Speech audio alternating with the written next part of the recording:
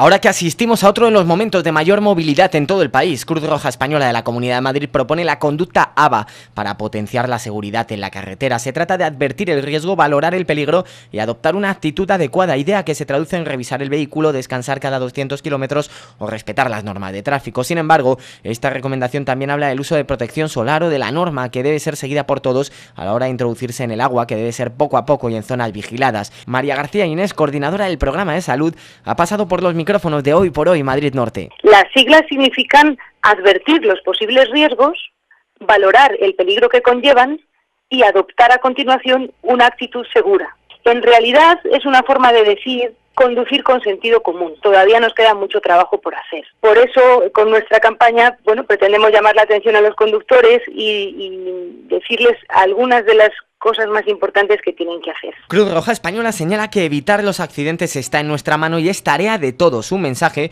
que se puede consultar en la página web www.cruzroja.com